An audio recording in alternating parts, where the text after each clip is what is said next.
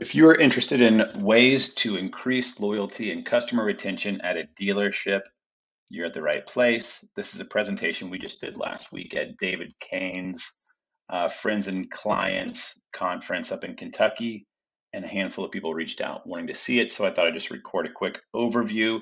The gist is the customers are leaving our dealerships and not returning because we're not asking them to stay. This is the way to unlock that doing paid social who to say, what to. Uh, and then the gist is just like if we can retain customers coming back to our dealerships and shopping again, this is looking like it's increasing profitability at stores 25 to 85%. And according to NADA, if uh, the 86% of customers who are coming back to the dealership for routine services uh, and, and doing continued business with the dealership will end up repurchasing. 86%. So here's the way for us to unlock our fixed ops, service parts to keep people coming back. However, only 29% of people who shop at our dealerships are doing routine services on average. This is the breakdown.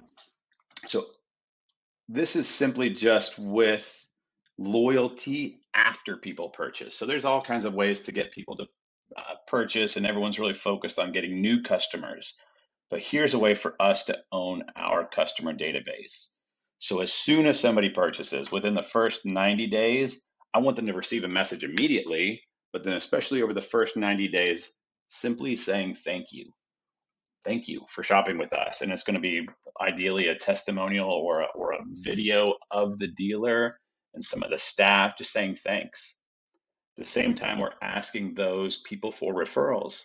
This is how we grow our business. We employ uh, the local community, friends, neighbors, family come back to our store. And then after 90 days, we start introducing parts. You know, this is where you pick up a truck, spray in bed liner, things like that, where I start to able to pull people back in to the parts department and then especially on the service department side.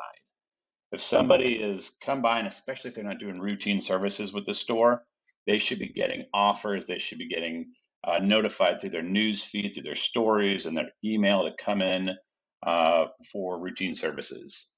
And then after a few years, get in front of them with trade up opportunities with the new models, uh, and then especially buyback. So there, there's a way for a small audience for us to really start to nurture loyalty. And the ad could look like this on the right, just saying, hey, we want to buy your Ford because of market conditions your Escape's never been worth more. And now that ad is really prescriptive to the customer. If that makes sense, and just some thumb stopping creative that takes up space and calls them out for what we already know about the customer. That they know who we are as a dealership and we know they're still driving that Ford. And um, we can have that thumb stopping creative.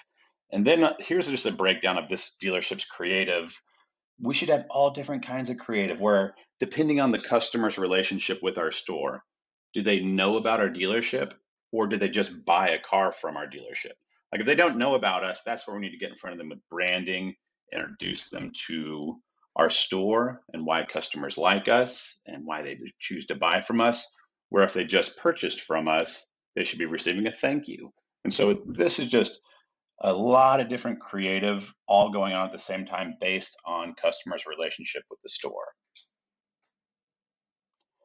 And for just the loyalty piece, like we're not talking about prospecting or anything, to have it broken down into sep- separate categories based on how long ago they purchased, uh, what they purchased, and with all of this customer data from uh, uh, the CRM, it's a relatively small audience. This one's relatively big 21,000 people.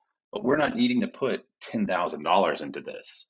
With a small ad spend of $1,200, we can get in front of all of our past customers always, just continuously. Like as soon as somebody purchases, they should always be in an ad campaign. This one's spending just 1200 bucks a month.